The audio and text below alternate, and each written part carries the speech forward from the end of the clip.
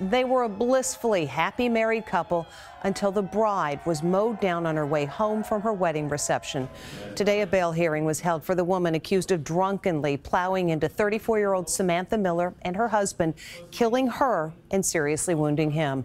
As Stephen Fabian reports, that hearing pitted two families against one another. It's a mother's heartbreak. Tears for her daughter Samantha Miller, the beautiful bride killed the night she got married last April as she and her groom Aric Hutchinson were driving a golf cart after the reception. The suspect, 25 year old Jamie Komoroski, was in court today via closed circuit TV, asking the judge to release her on bond. One by one, the late bride's family spoke. The defendant made a conscious decision to get into her vehicle after drinking all day and take away my daughter. She didn't just kill my daughter, she killed all of us. Samantha's father is still overcome with grief. I would give anything to hug my daughter again. Anything. Anything. Her sister says hearing a police siren reminds her of that awful night.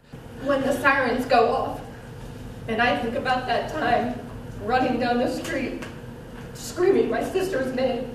Jamie Komoroski's family was also in court, her parents, brother, and sister. The defendant collapsed when she saw them. And I also want to express my deepest sympathy and sorrow to the family of the Hutchinsons and the Millers. The judge ordered that she remain behind bars on no bail. After the hearing, Samantha's family spoke. Her mother made an eyebrow raising request that her daughter's maiden name, not her married name, be used. Samantha's name is Samantha Miller. She got married, she died on her wedding night.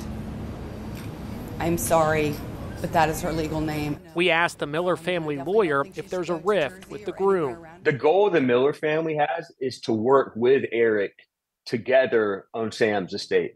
A tragedy that has turned two families upside down.